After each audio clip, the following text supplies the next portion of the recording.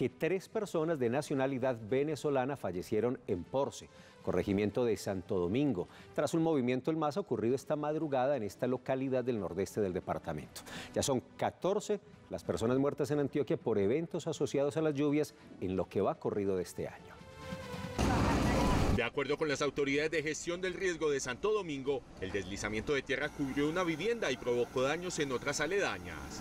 A esta hora confirman que dos adultos, un hombre y una mujer, y un menor de dos años de edad, fueron hallados sin vida. Actualmente el Consejo Municipal de Gestión de Riesgo de Desastres está pues tomando todas las acciones en función pues del acompañamiento, la verificación de la identidad eh, y nosotros pues muy atentos desde la Gran y la Gobernación para el apoyo que podamos brindar subsidiariamente. Las autoridades descartaron la presencia de personas desaparecidas bajo el deslizamiento.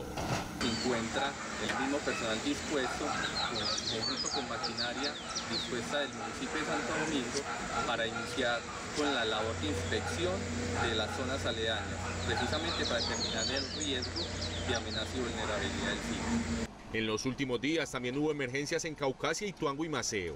En lo ocurrido del 2023, en Antioquia han muerto 14 personas por eventos asociados a las lluvias.